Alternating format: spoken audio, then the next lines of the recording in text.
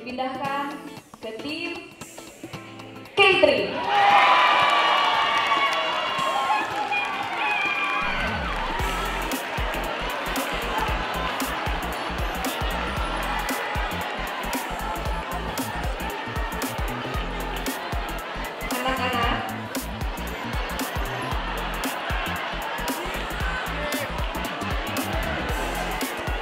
Selanjutnya, member yang selanjutnya dari JKT48 Academy, kita panggil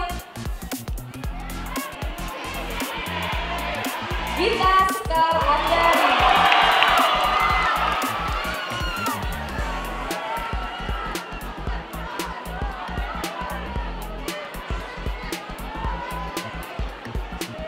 Mulai 21 Juli 2019, kamu dipromosikan ke tim K3.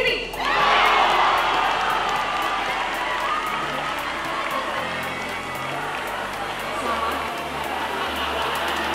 Selanjutnya ya, tentu saja masih ada lagi promosi JKT48 Academy yang selanjutnya. Saya panggilkan Gabriel Angelina.